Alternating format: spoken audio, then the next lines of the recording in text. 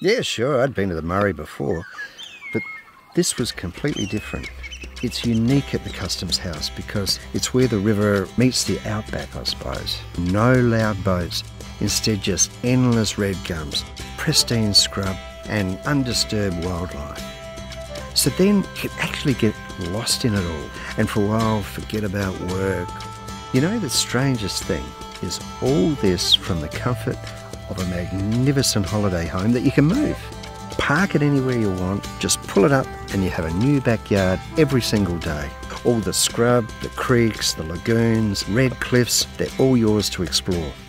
If it's the family, we grab one of the bigger boats, and if it's just wife and I, we get this cosy little cottage boat. Sometimes all you need is the swamp hen when we come up here with my mates on a fishing trip. Just give Francie and Brian a call. They will set you up with everything you need to know. You haven't been to the real Murray River until you've been up to the Customs House and hired one of their houseboats.